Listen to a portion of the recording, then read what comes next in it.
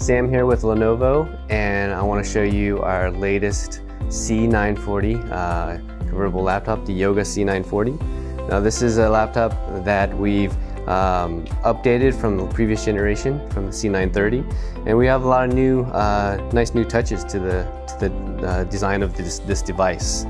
So as you notice here along the, the uh, hinge here is our Dolby Atmos speaker bar.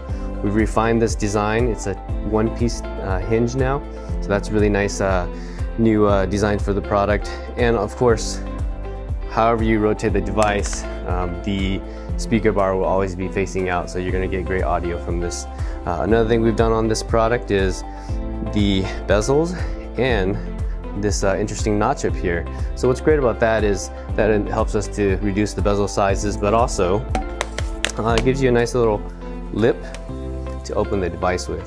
So it's nice and uh, convenient, easy to open the device. Uh, other things we've added to, uh, improved on this device is um, the uh, design of the pin along the back here.